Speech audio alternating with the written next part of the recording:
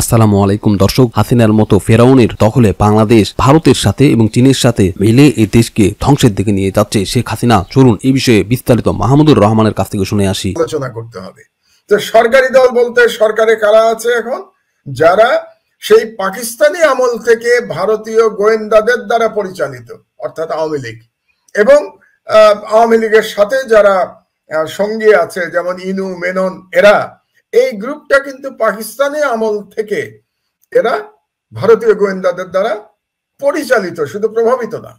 তো সুতরাং এরা সেই ধারাবাহিকতা রক্ষা করছে। অর্থাৎ বর্তমানে যারা ক্ষমতাশীল, তাদের উপরে ভারতীয় নিয়ন্ত্রণ একচ্ছত্র। কিন্তু সমস্যাটা কোথায় ছিল ভারতের? এতদিন আমি আপনাকে বলি, সেটা হলো যে বাংলাদেশ তো মোটামুটি বিভক্ত।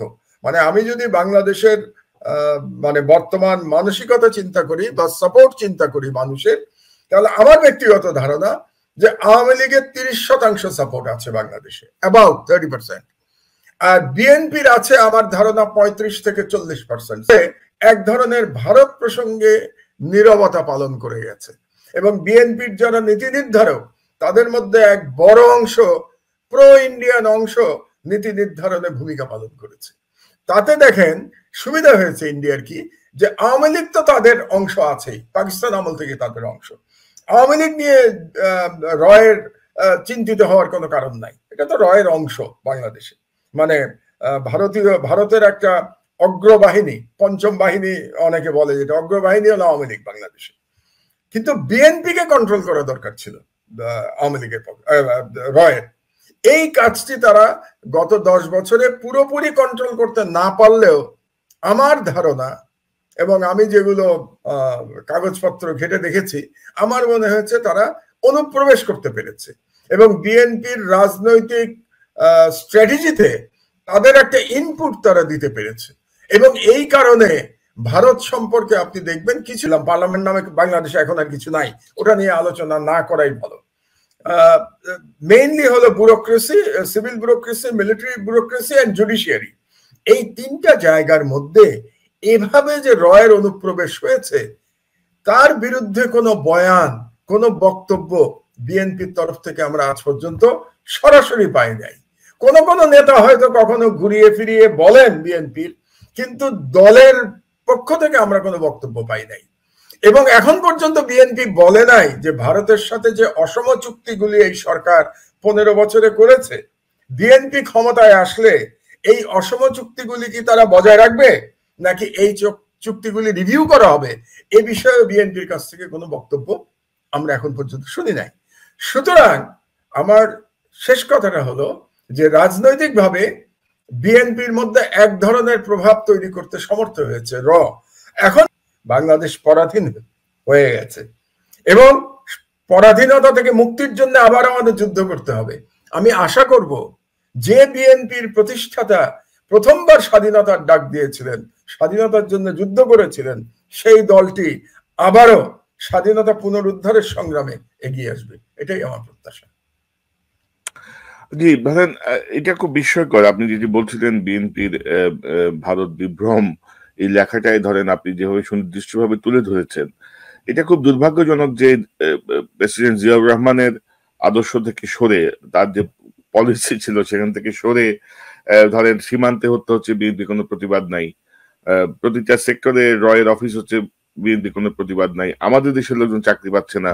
ভারতীয়রা বাংলাদেশ থেকে তৃতীয় রেমিটেন্স আহরণ করে নিয়ে যাচ্ছে তাদের দেশে। যেটা আমরা অর্থনীতি আলোচনায় আলোচনা করব আশা করি। এখন ধরেন এই যে এই যে প্রভাব। দর্শক বাংলাদেশ ব্যাংক হাজার হাজার কোটি টাকা বিভিন্ন ব্যাংক থেকে লুটপাট করে শেখ হাসিনাকে দিচ্ছে নির্বাচনী প্রচারণা চালানোর জন্য এবং তার ক্ষমতা স্থায়িত্ব করে রাখার জন্য। কীভাবে দেশের মানুষের জনগণের টাকা নিয়ে তারা এভাবে করতে পারে? পুরো দেশের অর্থনৈতিক মেরুদণ্ড ভেঙে দিচ্ছে তারা। চলুন এ বিষয়ে বিস্তারিত জেনে আসি। বাংলাদেশ ব্যাংক চলতি অর্থ বছরের প্রথম ছয় মাসে সরকারকে সহায়তা করতে পঞ্চাশ হাজার কোটি টাকার মতো ছাপিয়েছে এবং এত টাকা ছাপানোর ঘটনা কিন্তু দেশের ইতিহাসে অতীতে কখনো ঘটেনি। তো আশঙ্কা করা হচ্ছে যে ইচ্ছা মতো এভাবে টাকা ছাপানোর কারণে অর্থনীতিতে কিন্তু একটা বিরূপ প্রভাব পড়তে পারে। তো এই বিষয়টা নিয়ে একটু আমি আপনার বিশ্লেষণ জানতে চাই। আসলে বাংলাদেশের অর্থনীতি তো ধ্বংসস্তূপে পরিণত হয়েছে এটা আমরা বিভিন্ন সময় বিভিন্ন অর্থনীতিবিদদের আপনার বিশ্লেষণ আমরা করেছি। আপনি যে কথাটা বললেন যে পঞ্চাশ হাজার কোটি টাকা ছাপাইছে সরকার টাকা ছাপাবে। On the basis of the gold reserve you have এটা আপনার আহ, বিশ্ব ব্যাংক এটা জানবে আইএমএফ জানবে এবং আমার অর্থনীতি যে এ, যেইটার উপর সব থেকে কোন অংশে কম টাকা ছাপাচ্ছেন একজন ব্যক্তির জন্য। হ্যাঁ হ্যাঁ হ্যাঁ, এটা হচ্ছে বাংলাদেশ ব্যাংক হচ্ছে এখন এস আলমের প্রিন্টিং প্রিন্টিং প্রেস এস আলমের প্রিন্টিং প্রেস হচ্ছে বাংলাদেশ। আপনি দেখেন না, সাত হাজার সাতশো কোটি হচ্ছে ফার্স্ট সিকিউরিটি চার হাজার চারশো হচ্ছে ইসলামী ব্যাংক। তারপরে তার আরও তিনটা ব্যাংকের নাম দিছে। টোটাল পাঁচটা ব্যাংকে কোনটাতে কত টাকা নেগেটিভ মানে টাকা তো নাই, আরও এত হাজার, সাত হাজার, চার হাজার, এরকম তিন হাজার, দুই হাজার, এরকম তার পাঁচটা ব্যাংকে অন্যান্য ব্যাংক থেকে ধার করে এনে লিকুইডিটি মাইনাস অর্থাৎ সব মিলে তার প্রায় মনে হয় বিশ হাজার কোটি টাকা নেগেটিভ অর্থাৎ ব্যাংকগুলো নাই। ব্যাংকগুলো আউট হয়ে গেছে। ব্যাংকগুলো ব্যাংক্রাফট অর্থাৎ ডিক্লেয়ার করতেছে না। এখন তাকে আমি ছোটবেলায় যখন অর্থনীতি পড়েছি, তখন তো একটা জিনিস শুনেছিলাম যে অর্থনীতিতে যে আপনি যখন এভাবে টাকা ছাপাবেন, তখন সেটা একটা মুদ্রাস্ফীতির কারণ হবে।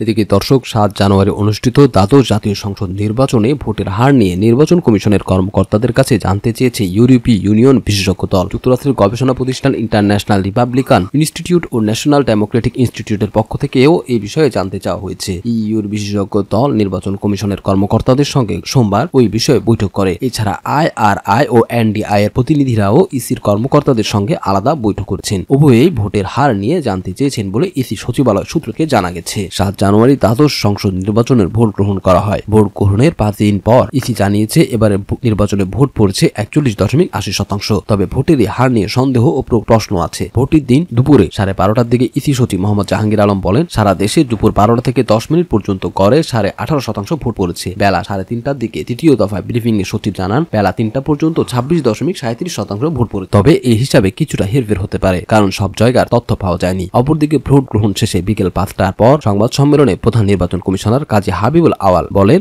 আঠাশ শতাংশের মতো ভোট পড়েছে। পাঁচ থেকে তাকে একজন বলেন, এ হার চল্লিশ শতাংশ। তখন সিইসি বলেন, চল্লিশ পার্সেন্ট। তারপরও এটা ড্যাশবোর্ডে শতভাগ তথ্য আসেনি। সিইসি বলেন, চল্লিশ শতাংশ যেটা এসেছে এখন পর্যন্ত ওটা নির্ভরযোগ্য। তবে এটা নিশ্চিত নয়, এটার কিছুটা ব্যতলায় হতে পারে। এখন ইউরোপীয় ইউনিয়নের বিশেষজ্ঞ দল এ সংক্রান্ত বিস্তারিত তথ্য জানতে চেয়েছে।